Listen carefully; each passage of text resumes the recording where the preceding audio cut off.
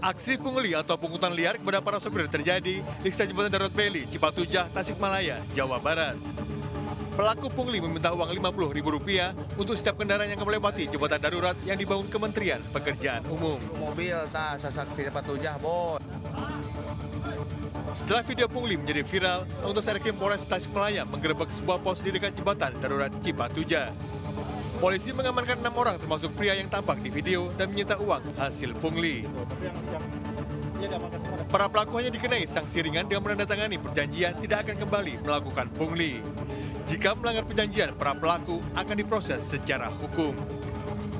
Nah, saya atas nama pribadi dan rekan-rekan tidak akan mengulangi lagi perbuatan pemungutan liar.